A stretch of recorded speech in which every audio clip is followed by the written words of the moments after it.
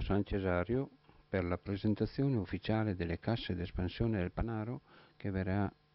esposto qui appunto a Villa Boschetti nella sala consigliare di San Cesario.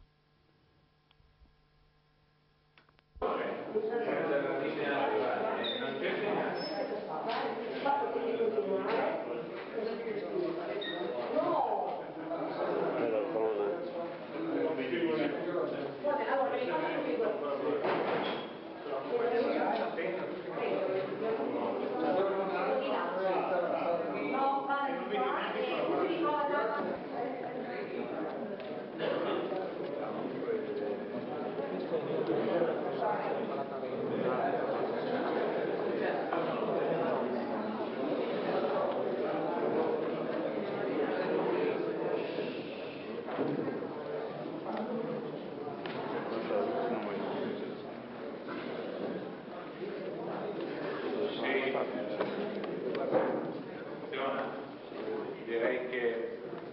possiamo dare inizio a questo seminario che si colloca all'interno dell'iniziativa di inaugurazione della cassa, della cassa di espansione sul fiume Panaro, cioè il completamento di eh, questa cassa.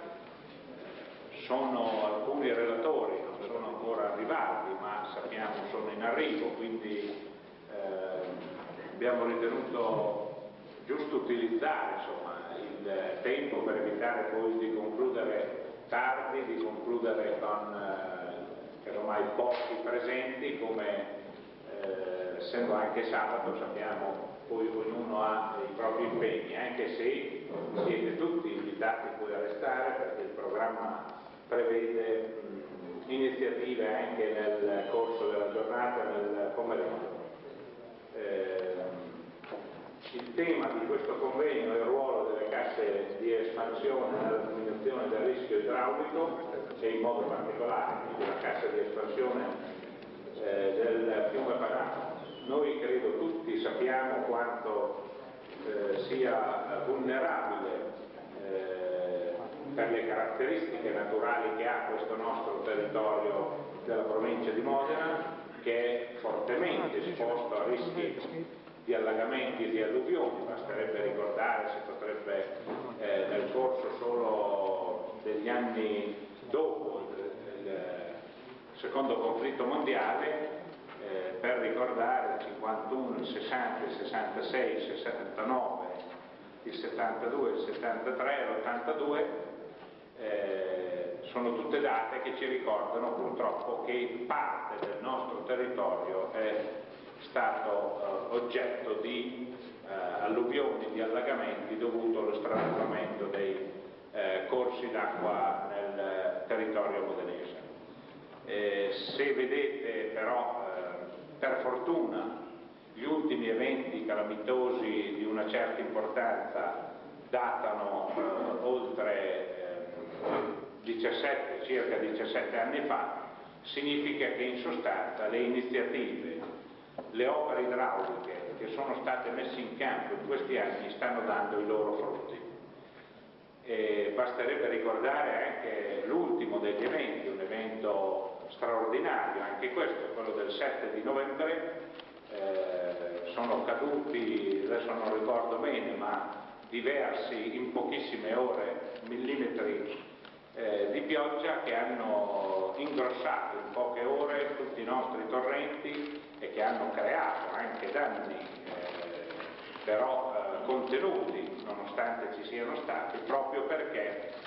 per esempio le, eh, il completamento delle casse di espansione del Panaro ha permesso di svolgere quella funzione propria e quindi di trattenere una parte e di permettere a valle anche delle casse di espansione di continuare a far eh, entrare l'acqua proveniente dagli altri corsi d'acqua minori a partire dal Chiepido uno, o dal Guerro che sono ehm, corsi d'acqua che eh, ci hanno sempre fatto conoscere eh, problemi, soprattutto nella parte che riguarda eh, eh la città, la, città, di Modena. Quindi eh, credo che con soddisfazione, noi dobbiamo oggi eh, rimarcare questo, i lavori della cassa di espansione eh, sul Panaro prevedono che per, eh, possiamo guardare avanti con fiducia, eh, sappiamo che su questo poi ce lo diranno i tecnici e gli esperti, a volte si rischia eh, azzardando delle previsioni a lunga distanza poi si rischia di, essere, di dover eh, rivedere le proprie posizioni, credo un esempio per noi è rappresentato dalle casse di espansione del Secchia che in occasione dell'inaugurazione, giustamente sulla base di quello che era lo Stato in, eh, in, quel momento, si disse abbiamo risolto in modo definitivo il problema e quindi i rischi di alluvioni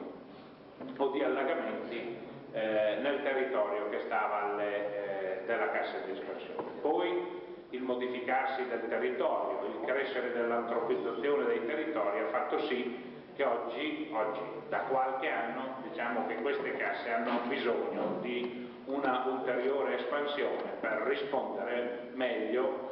ai problemi che, eh, costituiti da questi corsi d'acqua. Quindi, dicevo, è, a volte può, essere, può sembrare, eh, sì, fare delle previsioni può essere rischioso, però credo che qui siamo di fronte ad un'opera, ad un intervento che in termini anche di risorse, qui eh, vedremo, eh, poi ce lo diranno soprattutto tecnici e coloro i responsabili che, ehm,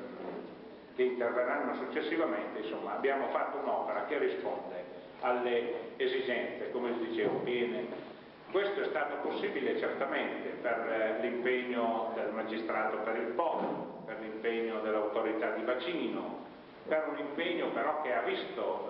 eh, lavorare in modo stretto e collaborare in modo efficace, direi, le autonomie locali, la provincia, i comuni interessati, San Cesario, il comune di Modena, e ehm, realizzando anche in modo congiunto dei programmi che eh, eh, hanno previsto questi interventi che poi sono andati a realizzazione. Oggi siamo di fronte ad una modifica anche di queste responsabilità, le responsabilità verranno poste in capo anche, si differenzieranno rispetto all'attuale sulla base della legislazione nazionale e della legislazione regionale che è venuta avanti soprattutto in questi ultimi, in questi ultimi anni e in questi ultimi mesi. Credo però che sia necessario continuare in questa direzione, sia indispensabile. Oggi abbiamo un piano anche qui che riguarda di completamento di una serie di interventi che riguarda il nostro territorio, che è stato concordato fra l'autorità di bacino, il magistrato per il Po, la regione e le autonomie locali, abbiamo bisogno di eh, continuare, di realizzare questo programma e di eh, continuare in questa, in questa direzione. Eh, fra l'altro eh, restano anche degli interventi che sono in via, che sono, che sono avviati o stanno per essere avviati, che riguardano le sponde del Panaro, anche a valle della, a valle della cassa di espansione qui eh, di San Cesario e la necessaria, come dicevo prima, necessaria, il necessario ampliamento della cassa di espansione del secchio. Credo però che questo sia, eh, come dicevo all'inizio, un giorno importante eh, del quale dobbiamo giustamente cogliere questa occasione ed è stata questa la scelta, mi pare, eh, giusta, più che, eh, più che, fare una grande solo diciamo, iniziativa di festa, che vuole essere anche questo ed è giusto che sia anche questo, cogliere questa occasione per farne un momento di riflessione per fare un momento di, eh, attorno ai temi dei rischi e in questo caso per vedere quali sono le politiche, le iniziative che debbono essere in campo, debbono essere messe in campo e quali sono anche eh, i comportamenti che i cittadini debbono tenere di fronte a... Eh, quindi credo che eh, la scelta sia stata, sia una scelta giusta, eh, quindi non mi resta che ringraziare tutti coloro che hanno aderito con entusiasmo, che porteranno il loro contributo a questa iniziativa, a questa riflessione, eh, credo molto utile e opportuna, eh, come dicevo, quindi eh, dando la parola per un saluto al sindaco di San Cesario Lorella Vignali, prego.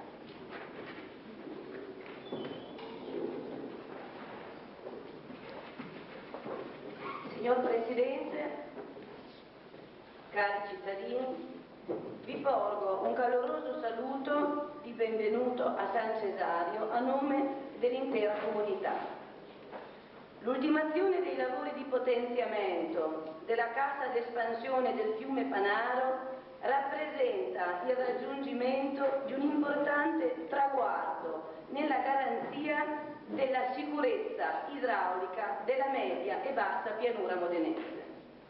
Tale presidio, sorto assieme a quello del Secchia, con lungimiranza e originalità, ci consente di scongiurare episodi alluvionali quali quelli subiti dalla nostra pianura negli anni 66, 72, 73 e 82. Esprimo quindi la mia personale soddisfazione e ringrazio vivamente quanti tecnici, amministratori, politici ed enti hanno concorso al raggiungimento di questo importante risultato e che oggi in buona parte sono in questa sala presenti. Questo risultato è oggi ancora più apprezzabile perché si inserisce in un quadro di pianificazione di bacino del fiume Po, il piano stralcio per l'assetto idrogeologico, che riporta a sistema il problema della sicurezza idraulica, collegandolo correttamente ed inscindibilmente al più generale problema di dissesto idrogeologico, ivi compresa l'area montana. Questo piano tiene inoltre conto dei fenomeni di erosione dei corsi d'acqua, della necessità di potenziamento delle opere di difesa, dell'importanza della loro manutenzione e del monitoraggio del necessario collegamento alla pianificazione territoriale, urbanistica ed ambientale. A tale ultimo proposito è particolarmente significativo il collegamento che il FAI effettua nei confronti del recupero e valorizzazione della naturalità e la rinaturalizzazione delle regioni fluviali. Colgo l'occasione per salutare il signor Presidente del Magistrato Filippò che è appena eh, arrivato. A questi importanti e condivisibili obiettivi ritengo occorre aggiungere, in riferimento alla legge Galli, l'importanza della promozione della difesa ed incentivazione degli usi plurimi dell'acqua, quale risorsa e non più come calamità. Su questo solco pianificatorio si sta muovendo il Comune di San Cesario, consapevole che occorre sposare i principi di solidarietà e sussidiarietà fra tutti gli enti coinvolti l'autorità di bacino, il magistrato per il Po, la regione Emilia-Romagna, la provincia e i comuni, per riuscire ad ottenere risultati importanti come la cassa d'espansione che oggi celebriamo. Noi riteniamo che occorra fare insieme alcune urgenti azioni per l'ulteriore e continuo miglioramento dei già non modesti livelli di sicurezza raggiunti. Un'azione di progettazione per la tutela, il recupero e la valorizzazione dell'intera fascia fluviale che, comprendendo la cassa d'espansione, arrivi almeno a Marano sul Panaro, in riferimento alle previsioni del piano paesistico e del piano territoriale di, co di coordinamento provinciale vigenti. In tale progetto dovrebbero anche essere approfonditi gli equilibri idraulici esistenti, precisando e concordando nell'ambito del FAI in itinere eventuali interventi strutturali di difesa e di manutenzione degli stessi. In particolare andrebbe ridefinito il ruolo idraulico delle vecchie difese spondali in calcestruzzo, i cosiddetti muraglioni, costruiti dal 1925 al 1930, e le improbabili garanzie di sicurezza che oggi forniscono, nonché la loro eventuale sostituzione con opere adeguate, almeno per i tratti fluviali più antichi. La cassa d'espansione e le fasce fluviali possono rappresentare inoltre una, una rilevante opportunità per un recupero ecologico, naturalistico e ricreativo di una porzione importante della pianura modenese ed importante per gli ambiti sia locali, provinciali e regionali. In tale direzione si sviluppano i lavori di progettazione preliminare per la trasformazione a parco fluviale dell'area dei laghi di Sant'Anna, di cui oggi sentiremo alcune idee, prime idee di progettazione. Quale stimolo costruttivo ad un lavoro molto più impegnativo da condurre in accordo e collaborazione con gli altri enti coinvolti ed interessati. In tale logica il Comune di San Cesario non esclude ma anzi condivide e promuove forme associate di gestione tali aree, eh, con altre simili presenti in provincia di Modena. È con tali idee ed aspettative che vi ringrazio per la presenza e vi auguro un proficuo lavoro per il seminario odierno. Grazie Sindaco, a questo punto è previsto il saluto del Sindaco di Modena che è in arrivo, quindi direi di passare alle relazioni. La prima, scusandomi con i relatori, ma abbiamo deciso, siccome lo spazio anche qui, vedo che anche in sala non è, eh, le presenze sono superiori alle previsioni e di questo ne siamo molto felici, eh, dicevo, scusandomi con i relatori, ma di volta in volta li eh, inviteremo a salire qui sul palco, iniziamo con Ugo Maione che è docente al Politecnico di Milano che ci parlerà dei principi generali degli interventi idraulici, le casse di espansione. Grazie.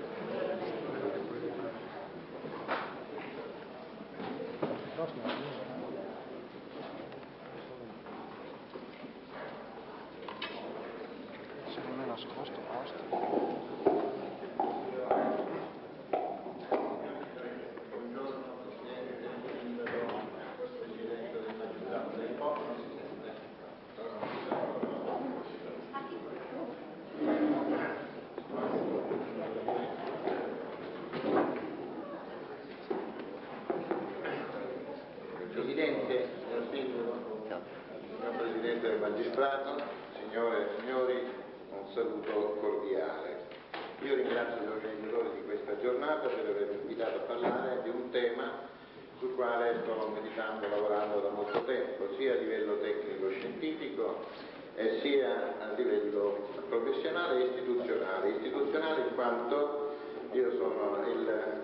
coordinatore di una sottocommissione del Comitato Tecnico dell'Autorità di Bacino del Po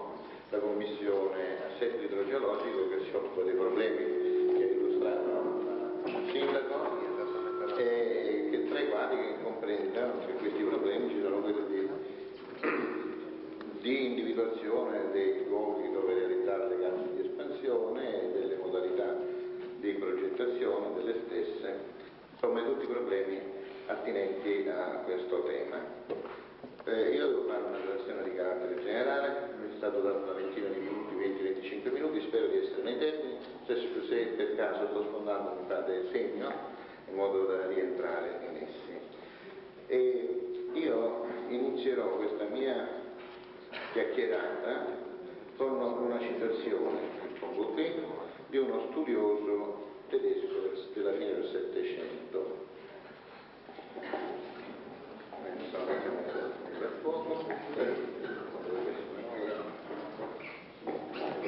uno diverso forse così si legge bene, no? Allora, leggiamo assieme, i fiumi non sono i migliori vicini, come amici testardi stanno tranquilli finché li si tratta in modo educato e rispettoso. Non appena si interferisce troppo da vicino con le loro faccende personali, difficilmente possono trattenersi dal fare vendetta. Grande sforzo e molto denaro vengono spesi per canalizzare i fiumi e per forzarli a cambiare la loro direzione di moto. Gran parte delle spese avrebbero potuto essere risparmiate nel momento in cui si fosse andati prima a scuola nella stessa natura, nella natura stessa e imparando i modi e i metodi usati dalla natura per compiere gli spaventosi cambiamenti che possiamo osservare nei fiumi. Colui la cui conoscenza è così limitata che né conosce le forze del fiume, né come possono essere determinate, né come potrebbero farne uso a proprio vantaggio, dovrebbe a tutti i costi restare lontano dal fiume. Questo lo scriveva un ingegnere austriaco nel 1785 e come vedete sono espressi dei pensieri di eh, una sorprendente attualità. Purtroppo però, pochi anni dopo, la scuola idraulica tedesca mitteleuropea eh, aveva manifestato eh, idee completamente diverse da queste e ha provveduto a sistemare i grandi corsi d'acqua europei, compresi alcuni corsi d'acqua italiani, con criteri completamente opposti, cioè canalizzando i fiumi e quindi eh, venendo meno a queste indicazioni eh, dall'ingegnere austriaco. In particolare, scusatemi se comincio da prima, credo che sia importante per capire poi bene la funzione delle casse di espansione. In particolare questa è, è, una eh, planimetria del 1827 del fiume Reno, in prossimità di, Strasburgo e Fiume Reno aveva una, una, morfologia di questo tipo, ampi,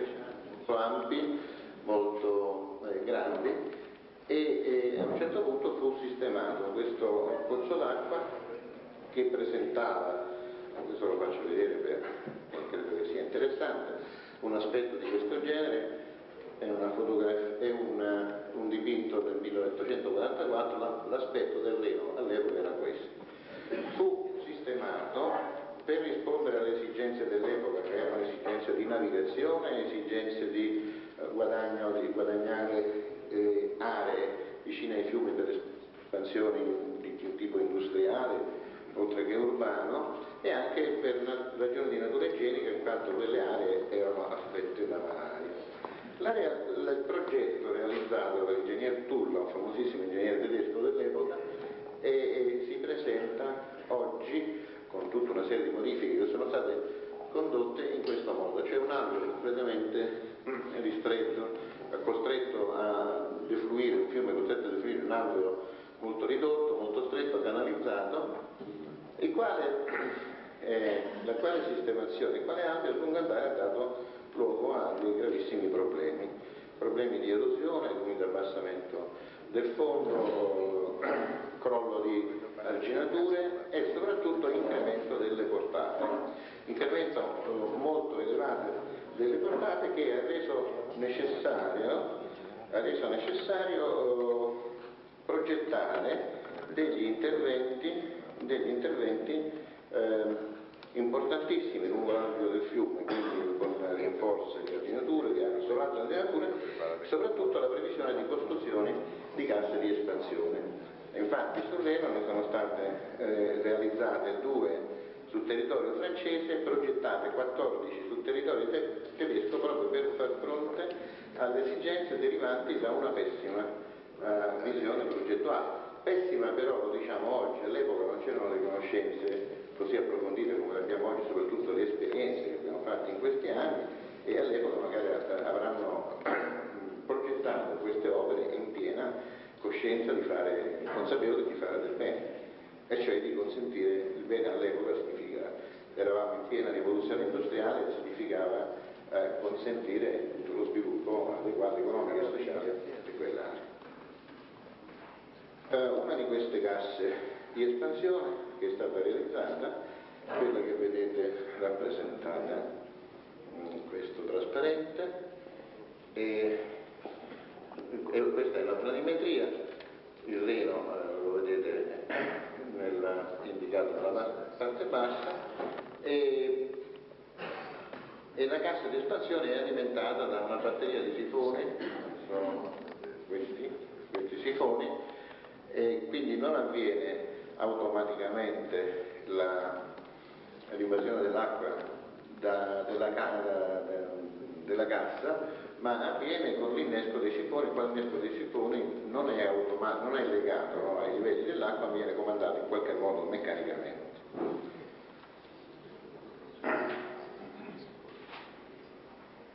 Eh, questa è una fotografia della cassa francese e questa è una fotografia dei sifoni di, di alimentazione della cassa stessa. I sifoni consentono una elasticità di, una elasticità di gestione della cassa notevole perché come è stato accennato anche stamattina dal sindaco i problemi delle casse di espansione, ovviamente la funzione primaria è quella idraulica, no? quindi quella di difesa idraulica del territorio,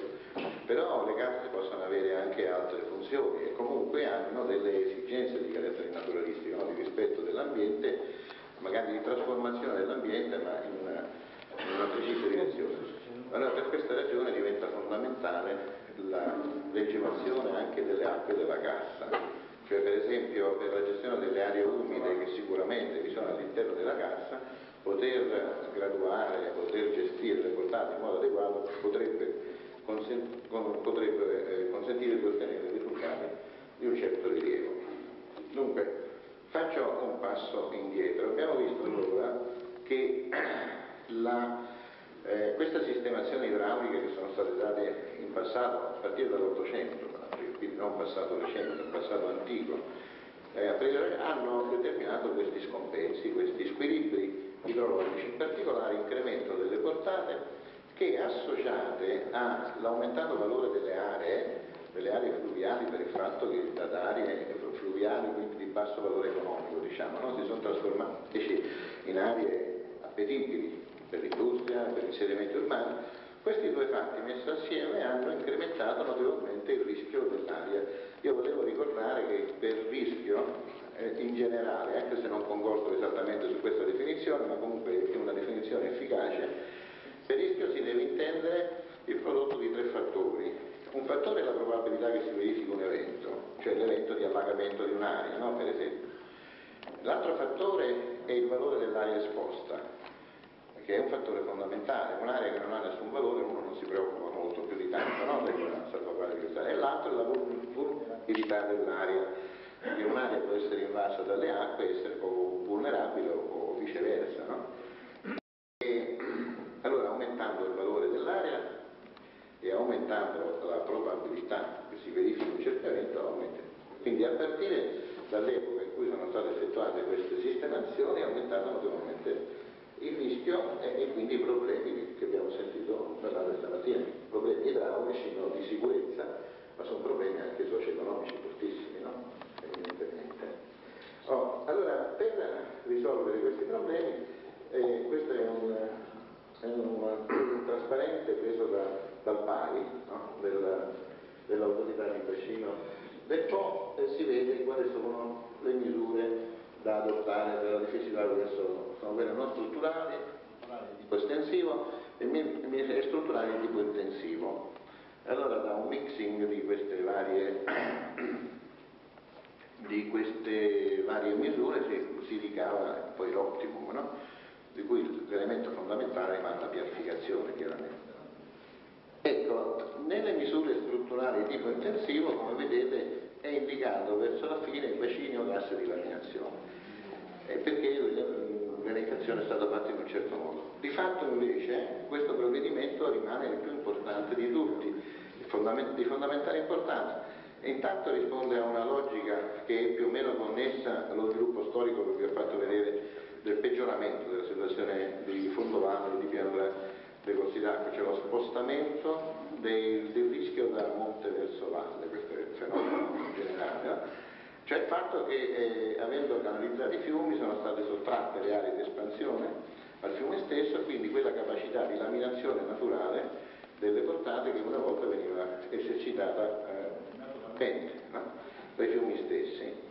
E quindi la cassa di espansione è,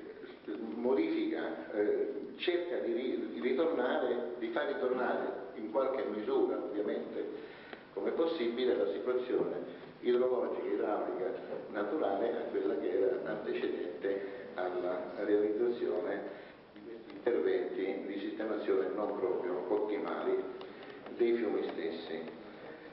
E poi ci sono anche delle altre ragioni. Se non si, eh,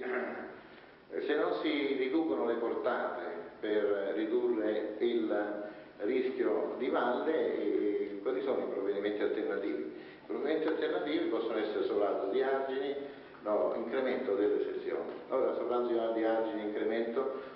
delle sezioni presenta numerosissimi inconvenienti, eh, per esempio di carattere naturalistico, sempre questo, no? cioè di divisione, di, di divisione di separazione dell'ambiente, dell'ecosistema fluviale dall'ambiente esterno, che è una delle cose che si tenta di evitare in tutti i modi, infatti molti interventi di riaturazione dei fiumi si vanno facendo nel mondo hanno anche come obiettivo eh, questo. Quindi c'è un peggioramento di natura, eh, di natura ambientale, ma anche di natura idraulica per le ragioni che abbiamo visto pensando a, ricordando quello che era successo sul Reno, come d'altra parte si potrebbe dire per molti dei grandi fiumi italiani. Cioè si sistema a monte un fiume, ne incrementa la sezione, si alzano gli archi, si fa sì che tutta la portata rimanga eh, in, diciamo, contenuta nell'ampio, più a valle più a valle aumentano le portate chiaramente perché non ci sono le zone di allagamento a monte, più a valle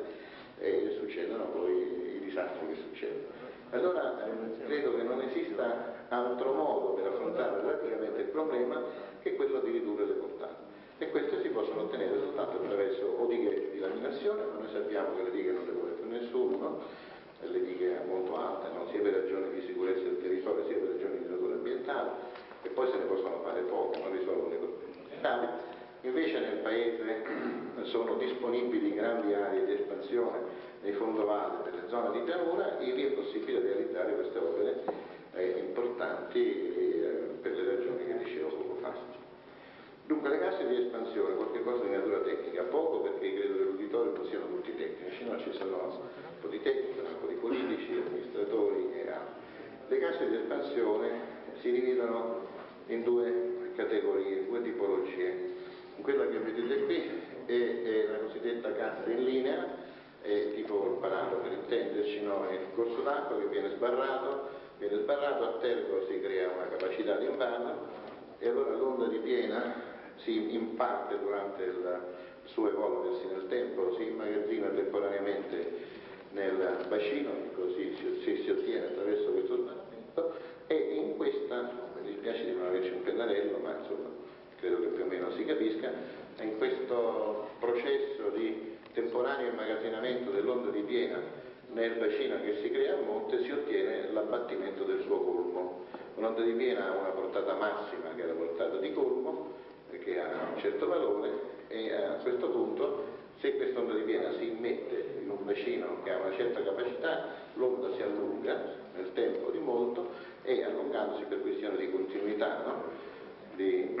conservazione dei volumi, delle masse, i colmi si abbattono e si ottiene poi. E di quanto si abbatte il colmo? Il colmo si abbatte, questo viene definito in sede progettuale, di una quantità tale per cui la portata residua, cioè quella che va a valle, è compatibile col sistema idrografico di valle. Cioè se la portata è di x mille metri cubi secondo si abbatte a 800-700 e la portata compatibile con la situazione idrologica di massa. Quello che vedete qui è una di queste casse realizzate negli Stati Uniti, molto grande e molto importante. Poi ci sono le casse invece in derivazione o miste.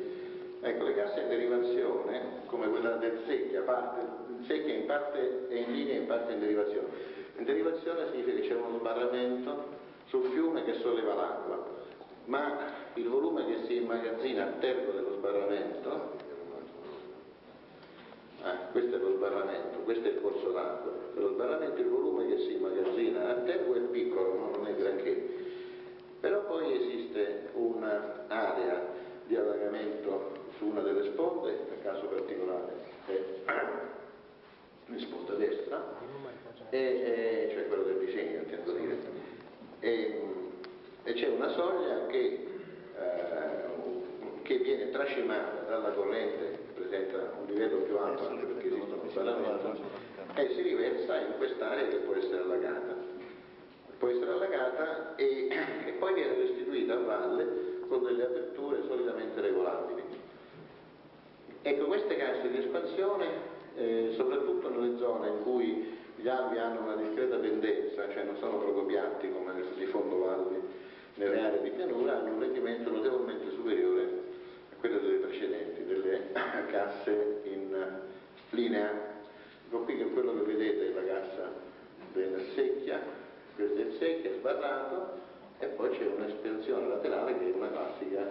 cassa in derivazione che viene alimentata, un po' come avete visto con quella cassa sul Reno, viene alimentata dal fiume per tracimazione. Nel caso del Reno vi erano dei sifoni che venivano innescati, che vengono innescati quando è necessario fare lo sversamento dell'acqua, nel caso della cassa del secchio avviene automaticamente. Apro una parentesi, sulla cassa del secchio è stato svolto uno studio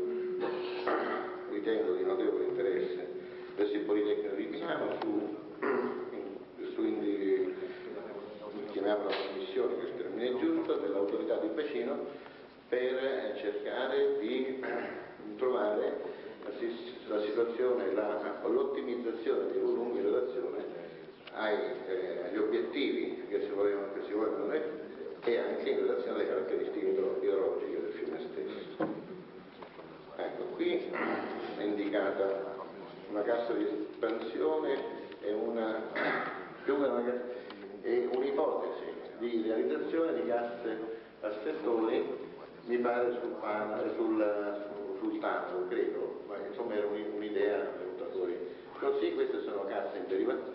dicevo, definite nel modo che ho detto poco fa, cioè alimentate non attraverso lo sbarramento ma attraverso delle soglie laterali che non sono neanche indicate, essendo questo un disegno preliminare, no? di individuazione di aree più che altro. Ecco, che problemi esistono nella progettazione delle case? Ho accennato ai problemi di natura ambientale, l'ho accennato insieme, mi ha fatto molto piacere, è, è, è rilevante la cosa, è molto rilevante. Molto rilevante perché quest'area di di grande dimensione che se non è gestita bene, se non, è, non viene curata attentamente può diventare dal punto di vista ambientale cosa, diciamo, qualcosa di negativo no, per il territorio, mentre invece le potenzialità della, della cassa, dell'area che c'è all'interno sono notevolissime, sono rilevanti, anche se devono essere utilizzate con molta attenzione per evitare poi eh, problemi di rischio per le persone no, che ci stanno dentro per eventuale verificarsi improvviso di, di piene. Questi bacini hanno queste caratteristiche, le piene sono abbastanza rapide, no? veloci. Ecco, tornando alla cassa sul, sul Reno, una delle che ho visitato, e, e lì c'è una grandissima cura, hanno realizzato molte aree umide, hanno immesso una quantità enorme di specie animali, eh, in particolare ci sono perfino pecchenorodani, insomma comunque bestie di questo genere, eh, è curata appunto luce del, la qui come si chiama? Cultura, no? quella delle luce. E, e, hanno messo delle, hanno messo delle pane di vario tipo, insomma hanno fatto interventi molto importanti, molto impegnativi anche sul piano economico, però eh, ecco, quell'area viene visitata per esempio moltissimo da scolaresche, un fortissimo valore didattico, moltissimo da scolaresche, associazioni eh, culturali di vario genere e stanno, sono molto attenti a evitare che, eh, che venga visitato da persone senza che ci siano delle guide eh, apposta, sia per evitare danni alla casa stessa sia per evitare eh, pericoli, rischi, no? perché qualche persona potrebbe rimanere all'interno della casa e poi magari si verifica uno sversamento di acqua e si potrebbero avere dei danni. Quindi uno dei problemi importanti è quello del, dell'utilizzazione dell'area della casa, quindi di naturalizzazione dell'area stessa. Poi ci sono i problemi di natura idraulica. I problemi di natura idraulica non sono di poco rilievo e devono essere eh, attentamente valutati, sono otto del mio tempo? Quasi, qualche minuto e chiudo. Devono essere attentamente valutati in relazione, per esempio, a un fatto fondamentale che spero venga compreso con poche parole, eh, poche notazioni di carattere tecnico e scientifico, sono le seguenti. L'abbattimento del colmo di piena che usualmente no, si cerca di attuare attraverso queste opere è dell'ordine, so, 20%, 30%, una qualche cosa del genere. Certo ci sono dei casi in cui si fanno anche delle casse molto più ampie, che, alle quali viene richiesta una riduzione molto più forte, ma diciamo che già 20, 30%, 15% è già un. Per esempio alcune casse che sono via di progettazione sul tagliamento viene richiesto un abbattimento del 10%, da 4.400 a 4.000 metri cubi secondo, perché 4.000 è la portata ritenuta eh, accettabile nei reticoli idrografici privati. Ora, come gli ingegneri idraulici, in particolare gli idrologi, ben conoscono, le approssimazioni con le quali si possono stimare le portate naturali di un fiume sono dello stesso ordine di grandezza. Cioè noi non è che sappiamo con precisione che la portata di 100 anni è di 8 metri cubi 7 secondi. Abbiamo una stima che è giusta, può essere errata in difetto, ma potrebbe essere anche errata in eccesso, no? di la stessa quantità del 20-30%. Allora se incrociamo due, questi due numeri eh, vediamo che effettivamente la progettazione di una cassa di espansione è cosa molto, molto delicata, eh, perché? Scientifico, in assenza di organi di regolazione, se si fa una stima in eccesso della portata di piena e si progetta l'opera, per esempio una gas in derivazione, eh, in base a questa stima in eccesso c'è il rischio che questa cassa non si usi mai, cioè non entra in funzione l'opera di sfioro, perché? Perché il livello più basso della, quello, il livello di progetto, no, previsto in progetto è più alto di quello che poi in realtà si può avere. Naturalmente c'è l'esperienza che sopperisce a tutto questo, si conoscono bene le cose, si osserva il territorio, si osservano i dati e eh, le cose non stanno così tragicamente come ho, ho espresso in questo momento. Sicuramente no, alla stima della portata di piena e per l'idraulico conseguente che consente di passare dalle portate ai livelli. Se si, se si sbaglia sulla resistenza dell'alveo, anziché avere una certa altezza di acqua prevista in progetto, se ne ha uno o più piccolo o più alto, quindi con variazioni tutto questo potrebbe essere sistemato se si prevedesse la realizzazione di eh, sistemi mobili di regolazione delle portate. Perché? Perché in una maniera del genere eventuali errori, ecco mettiamo i sifoni che avete visto prima, eventuali errori si potrebbe rimediare attraverso regola, la regolazione delle, dei separatori che darebbe maggiore elasticità del sistema. Però questo nei fiumi è anche un grosso problema, perché, perché innanzitutto le operatori di fiumi trasportano materiale flostante, materiali solidi, eccetera, non è come una diga, no? Gli organi di scarico di una diga, di scarico di superficie, l'acqua è limpida o quasi, non, non danno grandi problemi. Sui fiumi potrebbe esserci qualche problema legato alla manutenzione, non solo, ma poi la regolazione eh, deve, cioè, la, la manovra, le manovre da effettuare alle apparecchiature elettromeccaniche per fare la regolazione devono essere eseguite con una rapidità notevole, soprattutto quando tanto, tanto più notevoli, i tempi sono tanto più ristretti quanto più piccoli sono i corsi d'acqua. Quindi se abbiamo dei tempi caratteristici di formazione delle pietre di alcune ore, eh, diventa problematica la gestione del quartiere. Non è problematica se attorno, e vengo al nocciolo del discorso, se attorno alla cassa esiste una capacità gestionale eh, di elevatissima tecnologia oltre che competenza. E questo è un fatto fondamentale, è un problema che mi pare no, assilli molto, interessi moltissimo il Presidente Reale. Io credo di aver eh, consumato il mio tempo, o magari adesso proietto, perché me li trovo qui, eh, trasparenti, per qualche dettaglio. Questo, ecco, mi dà anche loro, queste riguardano eh, sono tre fotografie che riguardano la cassa di espansione del Secchia, con dei particolari le opere di dissipazione che ci sono alla base, a, subito a valle delle luci di fondo, attraversa, questo è un dettaglio della, delle bocche di alimentazione. Ecco, questo invece è interessante perché una illustra per la stessa cassa un modello fisico realizzato a Padova per la stessa cassa del, del Secchia. Si vedono i due sfioratori laterali, la traversa e le opere dietro. Questa è la stessa cassa, è lo stesso modello in funzione. Ecco, ci tenevo a proiettare queste, questi traslucidi per dire che queste opere vanno progettate, anche, vanno progettate con l'ausilio anche di prove su modello fisico, sono fondamentali modelli in scala ridotta, no? eh, eseguiti presso istituzioni specializzate, istituti specializzati di ricerca. Ecco, questo fa vedere come funziona sul modello ed è stata fatta in sede di progettazione della casa, come funziona la casa ed è importante per, per, dettagli, per definire bene i dettagli costruttivi dell'opera. Quello che vedete qui è una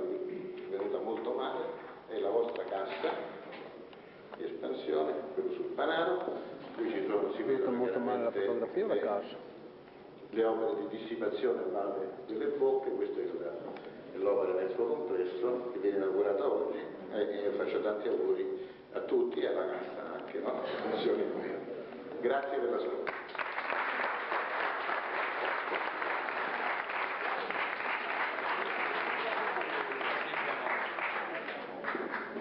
Grazie professore. Eh, Diamo ora la parola all'ingegner Luciano Moratti, la storia delle casse di espansione nel territorio modenese. Poi eh, non so come vi alternate, come vi integrate con eh, l'ingegner Paolo Peretti, ma ha bisogno di tutti. No, non ho bisogno.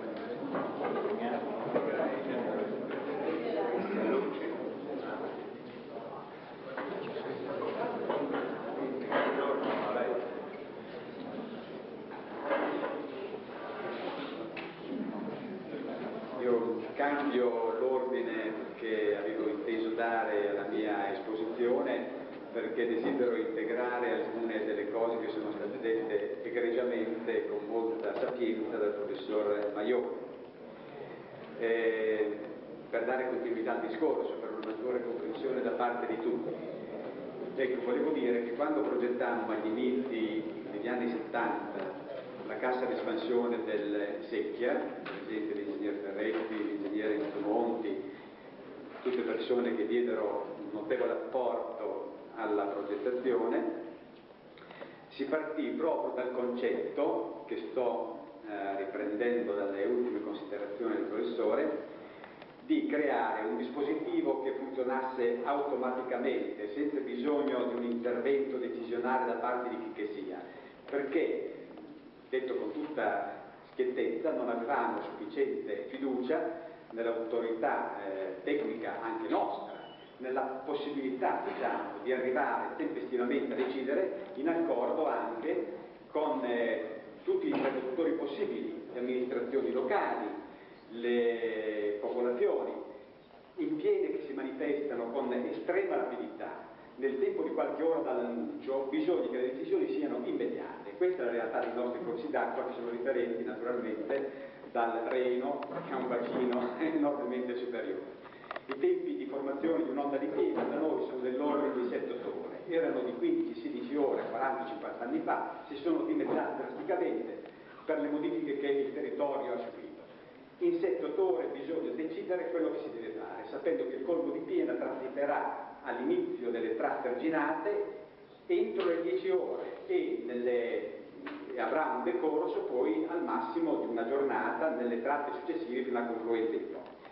Se in questo frattempo occorresse discutere, fare un comitato tecnico, discutere tra 3, 4, 5 persone, sentire cosa ne pensa Tizio Caio Sempronio, accordarsi con l'autorità politica, sentire l'opinione delle popolazioni e magari anche delle, dei comitati civici, è chiaro che non si farebbe nulla, la piena esulterebbe e succederebbe un disastro. Quindi l'intento progettuale che era alla base della, della, dello studio della cassa di espansione del Secchia era di fare un qualche cosa di studiato attentamente di articolato, di duttile, ma che potesse funzionare indipendentemente da una valutazione decisionale. E mi sembra che i risultati ci abbiano dato ragione in quella specifica realtà. Poi tutte le cose sono perfettibili e anche questa verrà resa tale. Volevo anche, eh, mi permetto, signor Presidente, di integrare anche alcune cose che ha detto lei eh, da parte di qualcuno si pensava che la cassa di espansione del Secchia e successivamente quella del Panaro potessero rappresentare degli interventi conclusivi, ma noi abbiamo sempre detto, parlo di noi, qui presenti, abbiamo sempre detto a chi ci diceva fatte le casse non ci pensiamo più, no assolutamente, non è così, fatte le casse bisogna fare altre cose, bisogna completarle, bisogna tenere in manutenzione, in gestione, verificarle, ampliarle, modificarle, perché questi sono i principi dell'idraulica fluviale, sono principi sanzionati, sanciti, scritti addirittura dal professor De Marchi nella relazione conclusiva eh, della commissione istituita dal governo all'indomani dell'alluvione del 66 che lei ha ricordato giustamente e che anch'io mi proponevo di ricordare, perché l'idraulica fluviale è fatta di queste cose. Il professor De Marchi ha scritto delle parole che dovrebbero essere stampate e scritte in lapidi da affiggere in tutti i municipi e non solo, ammesso dando per scontate, non è che tutti i tecnici queste cose le sappiano. Le sistemazioni fluviali sono in continuo divenire, un qualche cosa che deve adattarsi continuamente, come diceva quel professore, quell'ingegnere tedesco del Settecento, con delle bellissime parole al modificarsi, all'evolversi della natura, assecondando la natura, facendosi insegnare dalla natura, eh, sulla base di tentativi che devono procedere per approssimazioni successive, fare un qualche cosa che disturbi il minimo possibile il sistema fluviale esistente, per poi assecondarlo man mano che gli eventi procedono e che ci insegnano il da farsi mi diceva il professore Maione che anche l'ultimo evento che lei ha ricordato dei primi di novembre di quest'anno ha permesso di tarare gli studi scientifici che il professore stesso con i suoi aiuti è andato conducendo in questi ultimi tempi, trovando coincidenza tra i dati, mi riferisco al secchio, tra i dati di studio seguiti in maniera evidentemente molto approfondita e l'evento che si è manifestato. Diceva qualcosa messo. Sì. Ecco, quindi mi premeva, mi premeva fornire queste precisazioni per mostrare come ci sia una continuità tra quello che è stato pensato, fatto e che ancora si dovrà fare in seguito. E volevo anch'io ricordare gli eventi catastrofici che ci sono stati nel 60, nel 66, principali e altri successivamente. Nel 66 ci fu l'evento che sconvolse, eh, come sappiamo, il territorio toscano, Firenze, Venezia, eh, furono due casi eclatanti di importanza mondiale, la risonanza fu per l'importanza delle due città mondiali. Però questa meteora che girò sull'Italia settentrionale, si imborticò nella pianura padana, lasciò un segno molto importante anche nel territorio modenese, come ben ricordiamo, perlomeno ricordiamo noi più anziani, perché vedo che il pubblico è fatto di molte persone giovani che queste cose forse le hanno soltanto sentite raccontare o nemmeno questo. Quindi io, eh, ricordando questi eventi, vorrei proprio richiamare l'attenzione di tutti sul fatto che le memorie degli eventi vanno conservate, vanno coltivate. Chi perde la memoria di quello che è successo perde molto. Questo ce lo sentiamo dire anche in campo storico, politico, io lo dico in chiave tecnica, per quello che mi compete. Guai a chi dimentichi il passato e non trae frutto, insegnamento da quello che è accaduto per imparare e per applicare poi questi insegnamenti all'avvenire, al futuro. È una distruzione di professionalità, di capacità, del lavoro eseguito. Quante cose abbiamo visto fare per poi essere abbandonate. Questo è il maggiore dei delitti che si possa compiere da un punto di vista tecnico. Do una certa enfasi al mio discorso perché avendo vissuto per decenni tutte queste circostanze le ho sempre sentite come una cosa mia. Io appartengo ad una generazione che quando sentiva piovere contava le gocce e passava le notti insonni attendendo la telefonata o senza attendere la telefonata per poi correre sul fiume a vedere quello che succedeva. E questo mio richiamo lo faccio con particolare calore perché ritengo che sia fondamentale per tutti, e in questo momento mi rivolgo anche agli amministratori, ricordare queste vicende, tenerle sempre presenti nelle memorie, non informatiche, nell'animo, nell'animo per non adagiarsi sugli allori, ammesso che gli allori qualcuno ne abbia potuti ricevere, insomma non adagiarsi sulle cose fatte, non riposare sulle cose fatte, come un po' è avvenuto anche a Modena e non solo a Modena negli ultimi decenni. Parlo di un ambiente, di una provincia dove le istituzioni sono attive, sono operanti, sono esemplarmente efficaci perché l'hanno dimostrato con un'infinità di iniziative, ma se anche da noi è successo che per almeno 15 anni dopo la relazione della Cassa sul Secchia e quella del Panaro ci sia stato un periodo di pausa che per me è stato troppo lungo, se anche a volte è successo questo, figuriamoci che cosa è successo altrove. No, queste sono cose che non si devono fare, ci deve essere una vigilanza continua. Eh, quando io cominciai a interessarmi delle cose modenesi, alla fine degli anni 60, a cavallo tra 60 e 70, eh, c'era un'attenzione nella opinione pubblica che era straordinaria, i giornali tutti i giorni scrivevano qualche cosa a proposito delle vicende che sconvolgevano, che interessavano il territorio modenese, reggiano, ma soprattutto il territorio modenese, anche quello mantovano, perché erano problemi di tutti, ma insomma, siamo a Modena e parliamo di Modena. Io direi che c'erano degli atteggiamenti addirittura feroci nei confronti dei pubblici amministratori e dei tecnici, io sono arrivato a Modena come ingegnere cambio civile nel 72, dopo aver però già studiato i problemi del modenese, dopo pochi mesi ricevetti una comunicazione di garanzia, allora si chiamava comunicazione giudiziaria, se non ricordo male, insieme al presidente del magistrato del Poti, al professor Rossetti e all'ingegner Fava che era ingegnere capo prima di me. E io poi potei essere ben liberato dagli oneri di questa vicenda dopo un anno, ma non subito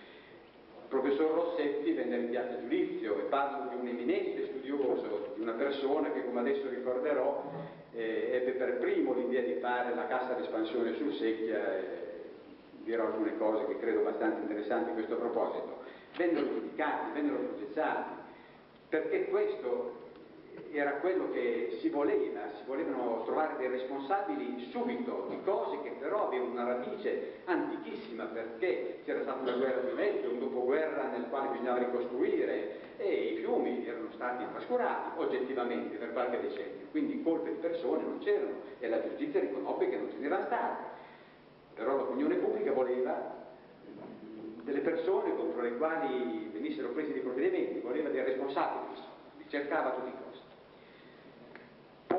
l'opinione pubblica vedendo che eh, alle parole seguivano i fatti rapidamente cambiò atteggiamento e trovammo appoggio anche alla stampa, oggettivamente parlando.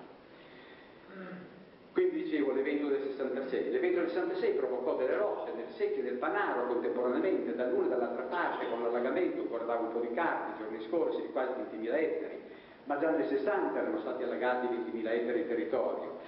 E non sono territori quelli modenesi eh, dove non ci sia niente, sono territori fortemente antropizzati, allagare un ettaro significa già oggi creare dei danni incredibili perché ci sono sempre dei paesi di mezzo, ci sono delle industrie, ci sono delle coltivazioni. Un tempo quando è un argomento che io ho spesso ricordato, quando c'erano degli allagamenti nelle zone di pianura non succedeva niente, i contadini lo sapevano, si mettevano gli stivali, anzi nemmeno quelli perché camminavano a piedi nudi, mi riferisco alle alluvioni di 50-60 anni fa, a maggior ragione di quelle del po' di 100 o più anni fa. Aspettavano che l'acqua salisse, portavano il bestiame sugli arti e poi basta, poi riprendevano la loro vita normale.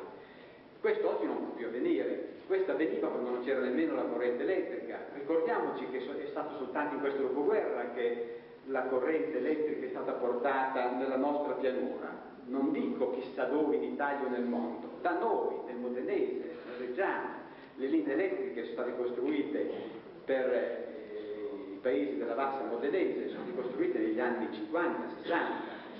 Non c'era energia elettrica, non succedeva niente, su un po' di acqua andava nelle case non c'erano beni da conservare, non c'erano assolutamente industrie, i territori della bassa modenese erano considerati agli effetti di legge aree depresse.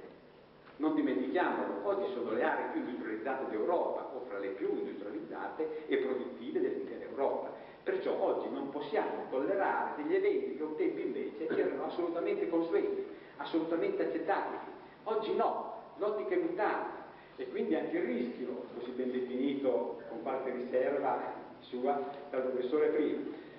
Anche il rischio idraulico è mutato perché è, è mutato il valore delle aree ed è mutata la vulnerabilità del territorio, che è stato manomesso, possiamo dire così, da infinite infrastrutture che nel territorio si sono insediate. Quindi ho ricordato l'evento del 66, ma voglio ricordare anche quello del 60 quello del 60 credo che non ricordi proprio nessuno. Nel 60 cosa successe? Successe il finimondo, soprattutto nel Secchia, perché ci fu una eh, piena di notevole entità che provocò nel Secchia tre rotte, l'allagamento di 20.000 ettari di territorio tra destra e sinistra del Secchia, e ci fu l'occlusione completa del Secchia a Cerredolo di Toano, a monte della confluenza del sistema Dolo-Dragoni in destra nel Secchia,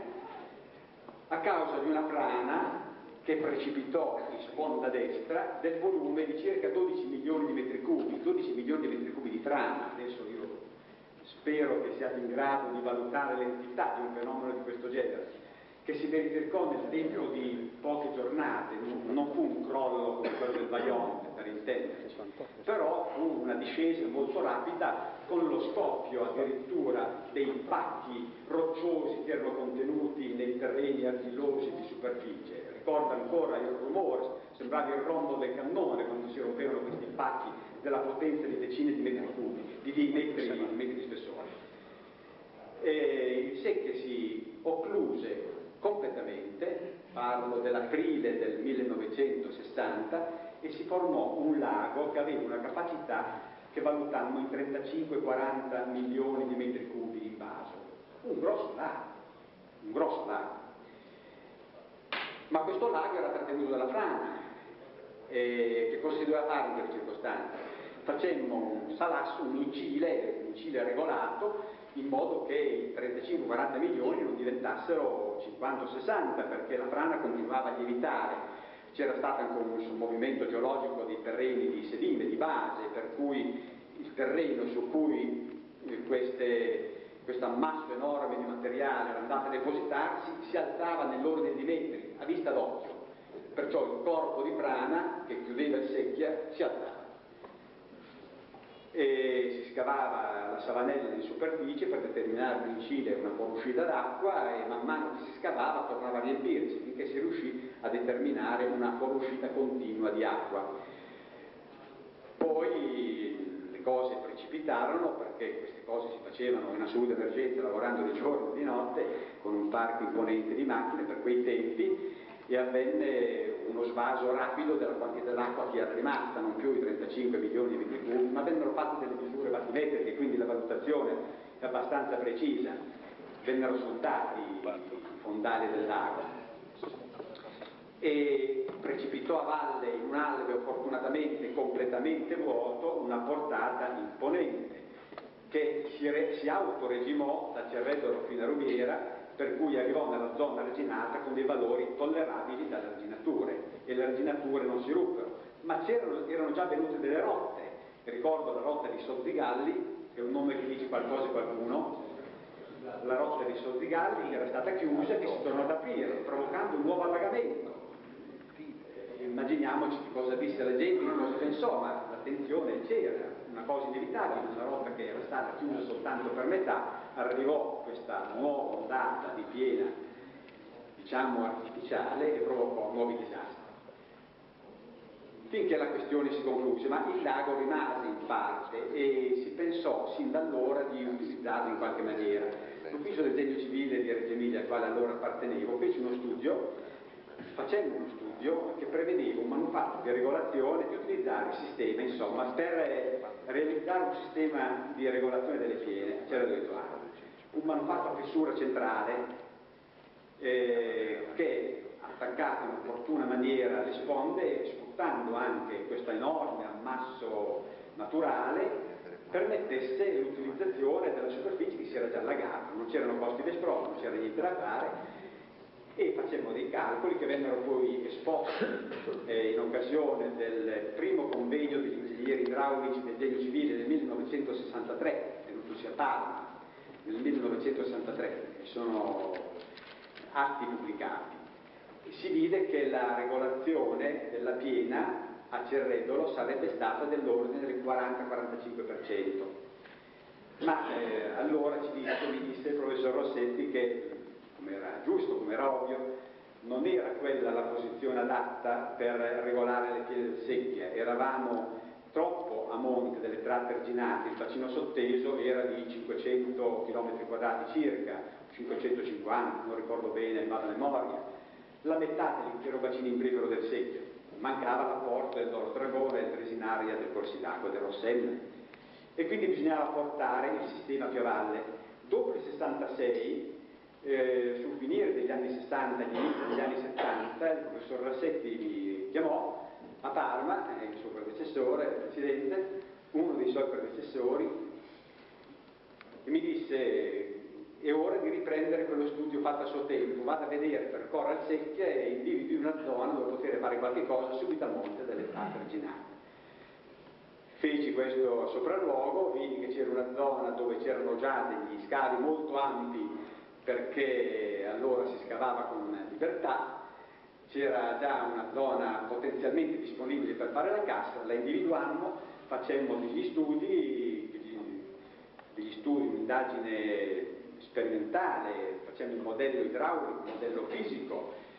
gli studi vennero fatti per un paio d'anni, tra il 69, 70, 71, vennero pubblicati, anche una pubblicazione che esiste che penso che sia conosciuta dalla maggioranza dei tecnici presenti e ne furono resi noti i risultati. Si vide insomma che con una opportuna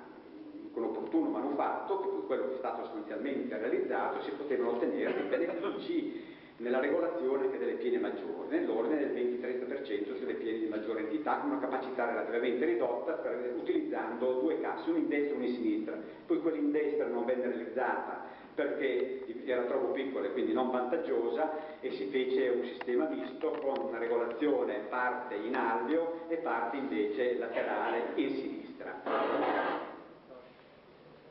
si fece quello che era possibile fare in quel momento utilizzando le aree disponibili, che erano quelle che ho detto, ma le cose vennero fatte con estrema rapidità.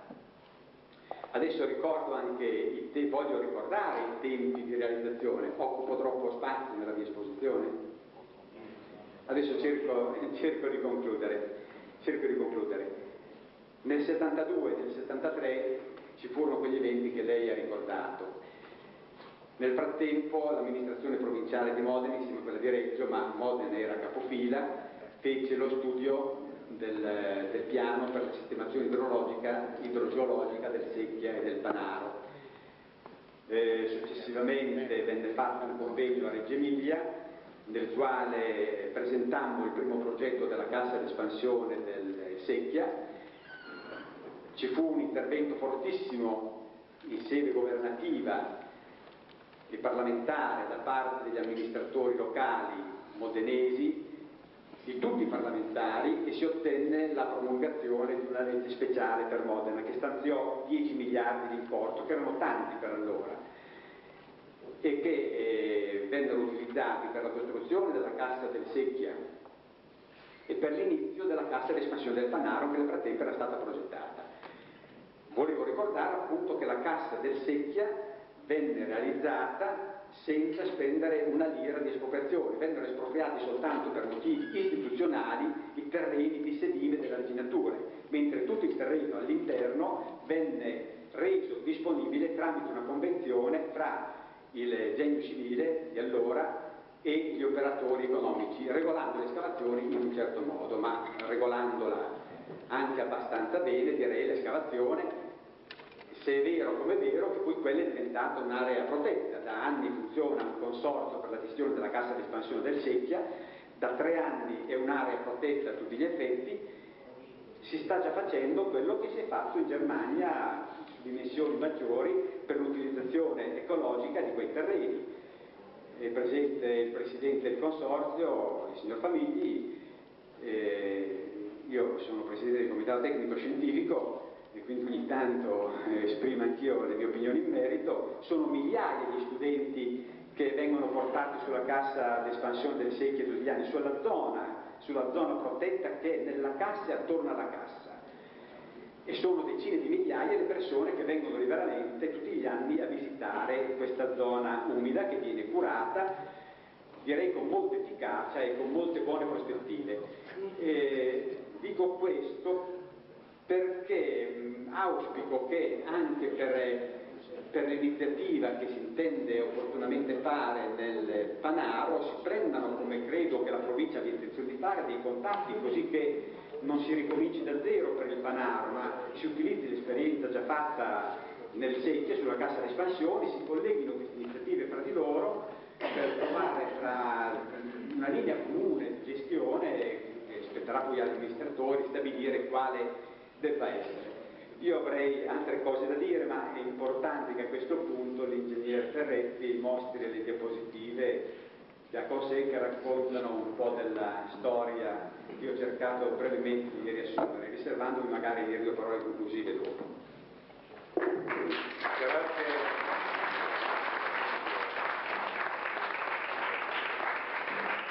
appassionato e interessante intervento. Eh, direi sono arrivati il sindaco di Modena, assessore regionale Cocchi, gli chiederei di venire a sedere qui. Se completiamo con questo era previsto il saluto del sindaco, farei dopo questo intervento,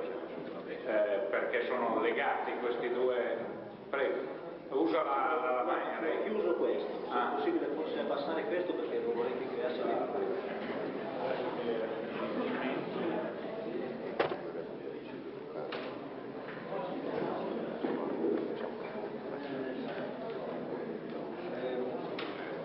sempre relativamente alla storia della cassa di espansione del Secchia, a cui faceva riferimento l'ingegnere Moratti in precedenza, proiettiamo alcune diapositive che risalgono al momento in cui si iniziarono gli studi per la realizzazione della cassa del Secchia. Eravamo in condizioni particolari, eravamo, come diceva l'ingegnere Moratti, in un momento di particolare tensione dal punto di vista dell'opinione pubblica c'erano delle circostanze particolari che per certi aspetti dobbiamo ritenere anche sfortunate e fortunate, sfortunate perché l'alluvione è sempre un effetto sfortunato. Normalmente questi, questi fenomeni determinano poi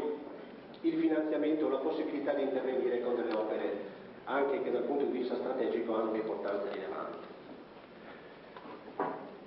Eravamo nel 1970-71, eh, ad esempio non, non, esistevano ancora programmi informatici per il calcolo dell'effetto di laminazione delle piene esistevano anche dal punto di vista del secchia l'esigenza di studiare dal punto di vista proprio fisico l'effetto di laminazione delle piene, quindi lo studio del dimensionamento delle opere, lo studio delle quote e soprattutto anche lo studio relativo all'effetto di dissipazione a valle di questi manufatti che è sempre stato un problema decisamente rilevante. Questo che vedete, magari se spegniamo la luce lo vedete un po' meglio, questo che vedete è il, il modello fisico della cassa di espansione del Secchia che fu realizzato su una collina dell'Enza, casualmente, in quanto sulla, sulla collina dell'Enza esisteva il canale, il canale d'Enza che tramite l'ufficio del demanio dello Stato ci forniva l'acqua che veniva immessa a monte. Eh, qui, quello che vedete qui in basso è il sistema che ci, ci permetteva di calcolare il valore delle portate in uscita dopo che attraverso il, il, il modello del manufatto di sbarramento l'onda di piena veniva modificata. Quindi a monte veniva realizzata, a monte pioveva, a monte c'era il manufatto che ci permetteva di creare l'onda di piena. L'onda di piena si inseriva nel modello fisico del secchia che vedete a monte di questo manufatto, in sinistra qui non si vede ma c'è in, in sinistra idraulica, in destra nella foto veniva realizzata fisicamente la cassa di espansione e sulla base di questo eh, ulteriore sistema di, di, di eh, controllo con una, una, eh, uno stramazzo in parete sottile noi calcolavamo il valore tra, il valore tra, la portata in ingresso che era lassù in alto e la portata in uscita che era qui in basso. Eh, se questo funziona, ecco voi vedete qui il sistema con il quale noi a monte realizzavamo le varie portate, non so se a fuoco la fotografia, eh, l'acqua veniva immessa in questa vasca, c'era una, un sistema di regolazione e a seconda dell'apertura che davamo alla, questa bocca abbattente conoscevamo il valore della portata che veniva immessa all'interno del, del sistema. Questo ad esempio è uno dei modelli che abbiamo sperimentato per il secchio, ne abbiamo sperimentati diversi. Questo ad esempio prevedeva, oltre a una serie di bocche in basso, una serie di bocche anche nella parte superiore. Poi si rivelò un sistema particolarmente complesso anche dal punto di vista della realizzazione proprio tecnica, per cui si, si passò ad altri sistemi e ad altre ipotesi di manufatti diversi. Siamo sul secchio qui, eh? Ecco, questo è un altro, un altro manufatto che noi abbiamo eh, sperimentato dal punto di vista della eh, regolazione delle piene di secchia. Eh, vorrei ricordare, anzi eh, vorrei salutare qui il dottor Melloni, segretario dell'autorità di bacino del Reno, in quanto in questo momento stiamo eh, studiando assieme all'autorità di bacino del Reno, un manufatto del tutto analogo che stiamo sperimentando con eh, l'Università di Firenze proprio con questo criterio, cioè il criterio di, un, di una bocca centrale invece delle bocche che poi vedremo realizzate sul secchia come bocche a battente. Queste sono delle bocche che praticamente in, delle bocche è, è, il manufatto che è completamente aperto nella parte centrale e quindi il, tutto il deflusso viene attraverso la parte centrale. Il problema di questi manufatti è rappresentato soprattutto dall'effetto di dissipazione dell'energia a valle, in quanto si era visto che un manufatto di questo tipo determinava a valle un effetto eh, diciamo di, di, di, erosione di valle estremamente eh, oneroso, eh, cosa che non avviene ad esempio sul, sul Samoggia, Samoggia è un affluente del Reno, il Reno, il Reno nostro, del Reno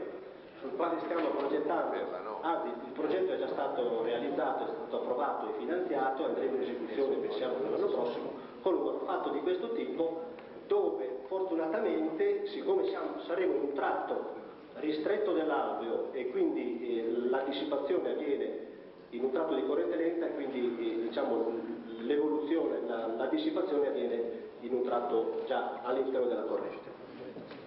Questo dunque fu uno, uno dei, delle, dei, manufatti sperimentali che abbiamo utilizzato per la definizione del progetto della cassa di espansione, del Secchia. Eh, se quello era un manufatto sperimentale, nello stesso periodo, siamo nel 72-73, lo stesso presidente Rossetti del Magistrato per il Po, che era già eh, molto interessato a questi esperimenti, eh, finanziò al genio civile di, di, Reggio Emilia, che era l'ingegnere capo l'ingegnere Monti che oggi abbiamo ancora con noi, un manufatto sperimentale, però realizzato in scala 1 a 1, cioè un manufatto per la laminazione delle piene del crostolo. E questo è quello che abbiamo realizzato nel 73 sul Crostolo, è il primo manufatto, credo in Emilia Romagna, di eh, manufatto di laminazione delle piene. Eh, vedete che ha già le caratteristiche dal punto di vista idraulico, le caratteristiche delle, delle bocche eh, a, battente poste alla base del, del manufatto. Questa è una visione vista da valle, si vedono le, le tre bocche, eh, era come diceva il professor Maione, eh, come si suol dire, una cassa di espansione in linea, cioè non c'erano casse laterali, era semplicemente uno sbarramento che determinava e determina eh, a monte della, della, dello sbarramento determina un invaso. Questa qui è sempre in fase di costruzione, la diapositiva è quella che è perché eh, risaliamo agli anni 72-73. Questo eh, in quegli anni, dal 72 al 75-76, ass eh, assieme a Moratti in genere capo a, a, Modena, progettammo questo è l'impianto della cassa di espansione del Panaro, eh, poi quella che vedrete, vedrete poi eh, oggi più abbondantemente illustrata, eh, sulla quale eh, sono, erano già state fatte a suo tempo le, le progettazioni e furono realizzate con un primo lotto le arginature che poi furono, furono riprese con eh, l'adeguamento che oggi e la conclusione dei lavori che oggi andiamo a, a vedere. Questa, eh, avete visto anche prima, è eh, l'impianto progettuale della cassa di espansione del, del Secchia. Eh, Inizialmente si prevedeva anche in destra una, una, piccola cassa, una, piccola cassa, laterale che poi fu abbandonata perché le sue dimensioni erano troppo, erano troppo modeste e quindi rimase soltanto la parte in sinistra eh, così come oggi sta, come è, è attualmente visibile in questi giorni. Qui abbiamo alcune diapositive che fanno vedere il momento della costruzione della cassa di espansione del, del manufatto principale della cassa di espansione di Secchia. Eh, quello che vedete a valle sono eh, i dissipatori che anch'essi studiati dal punto di vista idraulico con modello fisico e che hanno funzionato sempre in maniera egregia, nel senso che tutta l'energia eh, eh, che viene eh, portata dalle bocche in uscita viene completamente dissipata perché queste specie di di, di ancore separano i flussi di corrente in uscita dalle bocche eh, sia in destra che in sinistra e le, le due correnti si, si, incrociano, si scontrano e la dissipazione avviene fra due correnti che si incontrano. Questo, ecco, qui vediamo eh, il manufatto già realizzato, eh, le vasche a valle hanno una quota bassa per cui i sistemi di dissipazione sono immersi in, in 5 metri d'acqua e quindi c'è una, una, parte di dissipazione avviene anche per immersione della vena in uscita all'interno eh, di, questa, di, questa, vasca d'acqua, poi vengono, eh, le correnti vengono divise e dissipate l'una contro l'altra. Questa è sempre una vista di valle dei manufatti, eh, de, dei manufatti di, di dissipazione e degli scarichi questa è sempre la stessa, vista da un'altra posizione. Questo per, era, per, far vedere come a valle la dissipazione non c'erano più effetti di energetici, energetici di dissipazione a valle. Cioè quei ragazzi stanno passando in moto a valle per dire che a valle ormai non c'erano più effetti di, di erosione, ma potevano passare perché a valle l'acqua si, si distribuiva tranquillamente senza che ci fossero fenomeni erosivi. Ci sono due ragazzi lì in moto che passano senza che ci siano problemi di, di altro tipo. Questo è il manufatto visto da monte. Poi c'è una serie di diapositive che fanno vedere quelli che sono le opere complementari legate a questo, questo manufatto del Secchia. Questa è una difesa a, a monte in corrispondenza del manufatto principale. Eh, questo è il sistema di scarico della cassa cioè la, eh, il, la protezione dello scarico della cassa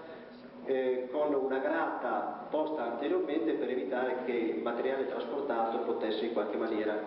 determinare l'occlusione dello scarico della cassa. Eh, questo qui non si vede benissimo, è lo sfioratore, lo sfioratore laterale che come si diceva eh, è estremamente semplice come realizzazione, a valle è semplicemente una, eh, solo un materasso reno eh, ricoperto con mastice bituminoso, eh,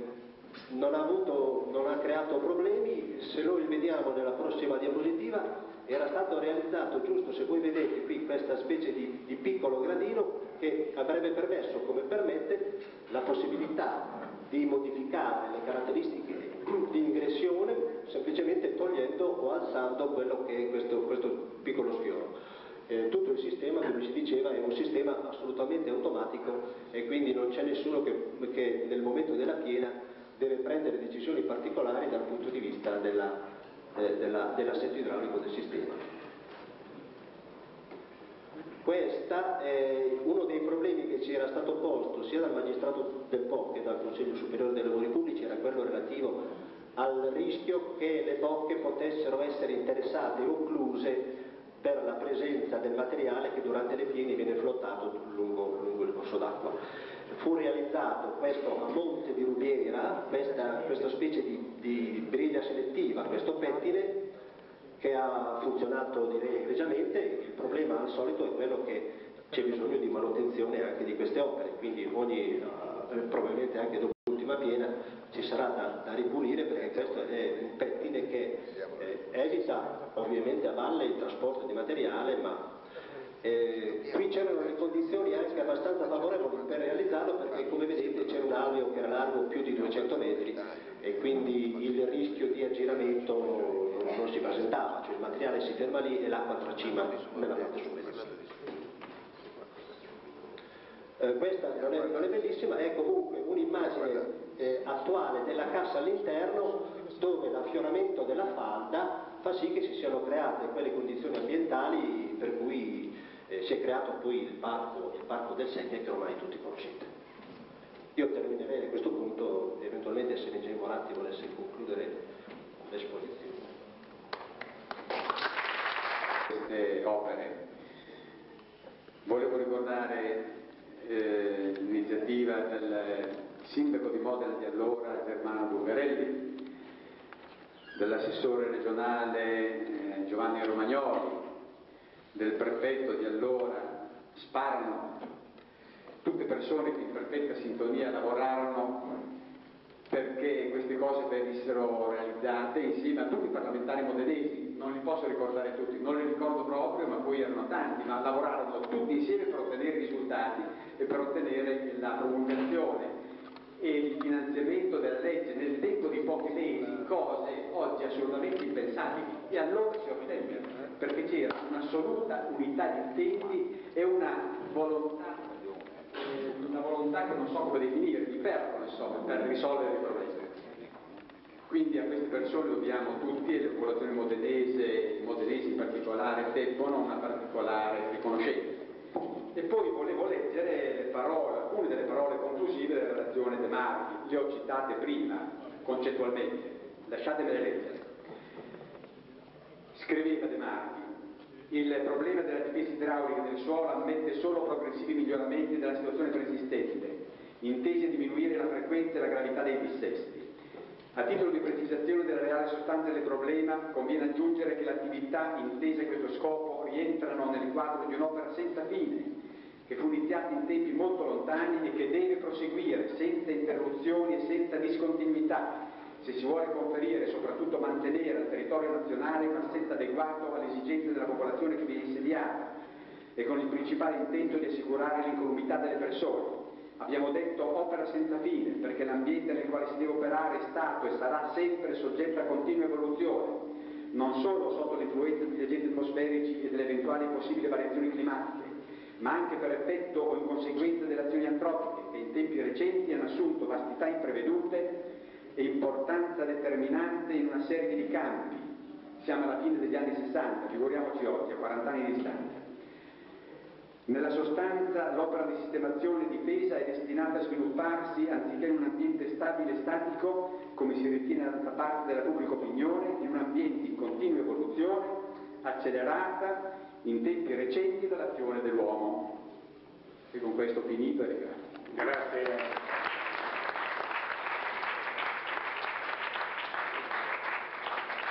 Grazie ingegnere, vorrei rassicurarla anche del fatto che credo la realtà modenese,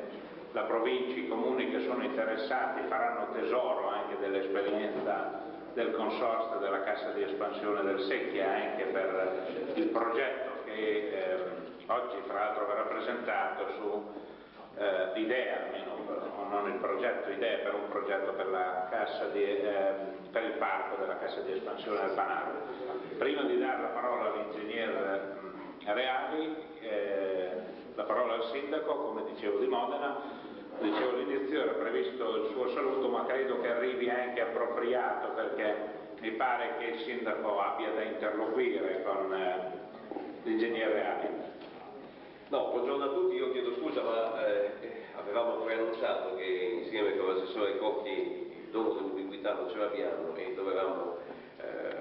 presentare insieme anche a un'altra importante iniziativa che si stava svolgendo in contemporanea in città. Mm, io mm, sono molto lieto di intervenire oggi a questo momento, questo momento seminariale di riflessione e anche di bilancio. Eh, credo che possa essere tratto un bilancio di grande soddisfazione per il risultato che completa un lavoro che iniziò a metà degli anni 70 e poi eh, ha impiegato tutto questo tempo per arrivare a una sua sistematizzazione. Eh, mi ha però mh, agevolato nella riflessione che vorrei fare eh, l'intervento dell'ingegnere Moratti che eh, secondo me ha utilmente sottolineato due aspetti, e cioè il primo che bisogna fare tesoro dell'esperienza e non abbassare eh, la tensione, l'impegno eh, circa la necessità di presidiare sistematicamente quelle che sono delle condizioni di rischio idraulico che in qualche modo sono connaturate e strutturali a un territorio, alla morfologia di un territorio come quello. E questo, eh, questa riflessione, questo spunto è, è per me prezioso perché io vorrei, come devo dire, vi rubo solo pochissimi istanti e non vorrei neanche sembrare un guastafeste, nel senso che io sono tra quelli che considerano di straordinaria importanza il risultato che oggi si sancisce. E tuttavia, eh, siccome questo è un seminario e noi dobbiamo ragionare, eh, come devo dire, sulla storia, ma anche sul presente, credo che questa possa essere anche un'occasione utile per approfittare anche per sottolineare alcuni elementi. Noi abbiamo, certo sono passati molti anni, questo territorio ha avuto eh, un grande beneficio dagli, dagli interventi infrastrutturali che sono stati realizzati, è vero però che c'è stata una prima fase di grande tensione realizzativa e poi che c'è stato un periodo, come devo dire, un po' di allentamento.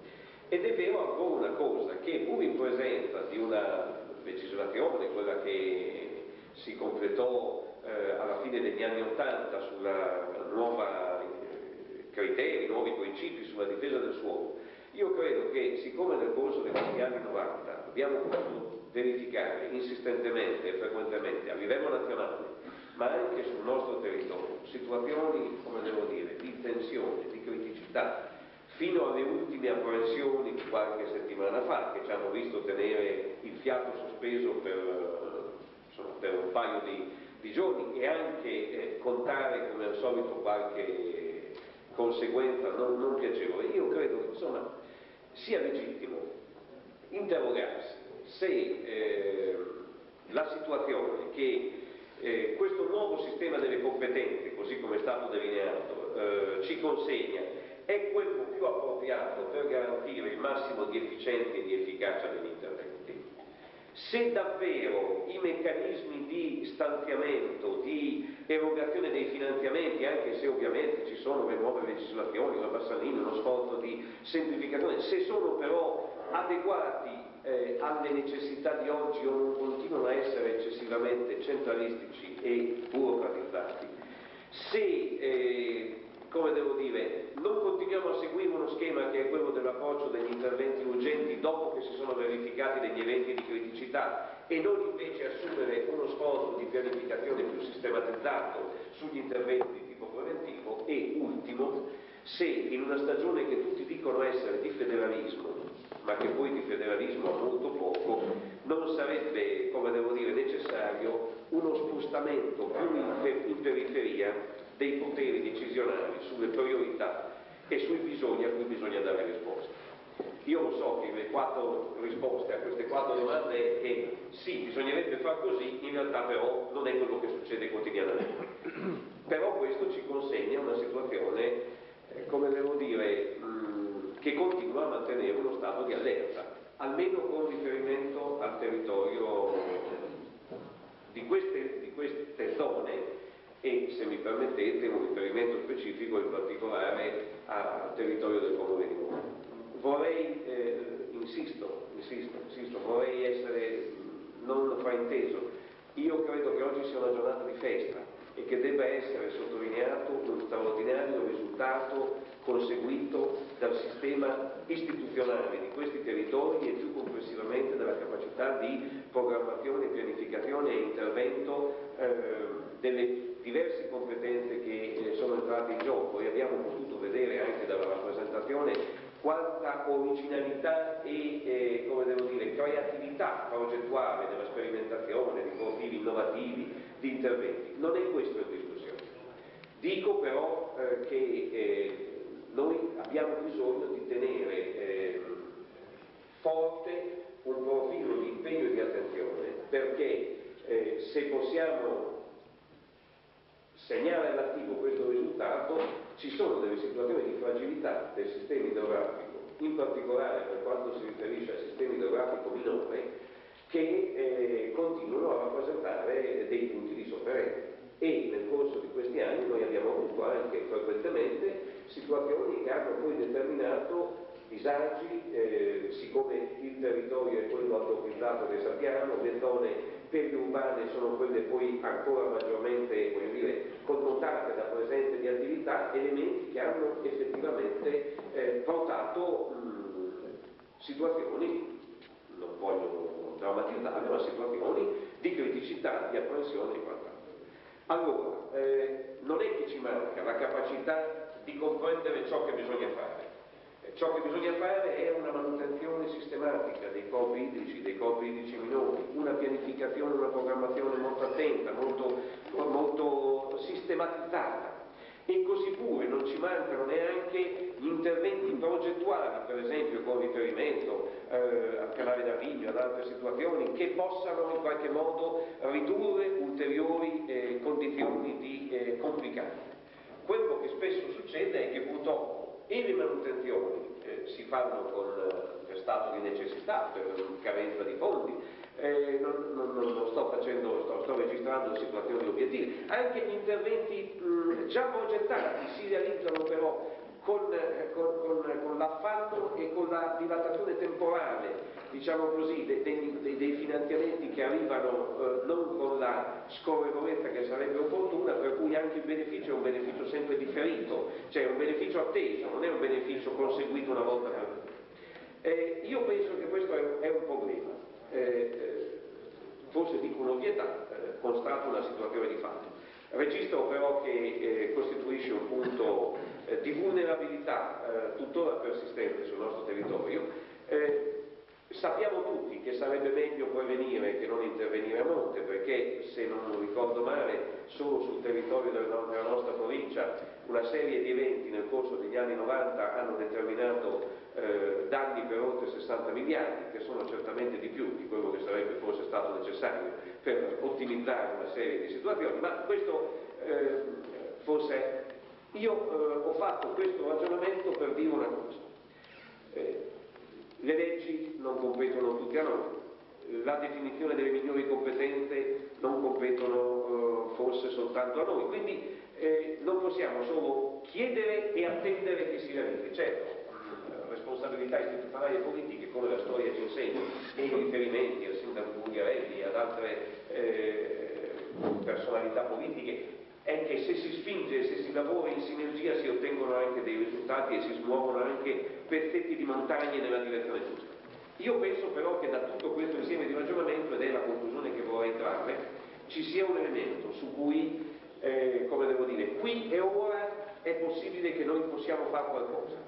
ed è nella situazione data, fermo restando che io auspico per la situazione migliori e come finanziamenti e come definizione delle competenze, però nella situazione data noi dobbiamo,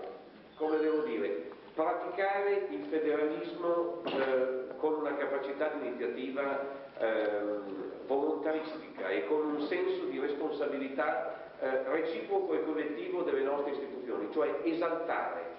e rafforzare e sviluppare ulteriormente una capacità di concertazione, di coordinamento, di pianificazione che muova dalla lettura delle criticità del territorio e che ottimizzi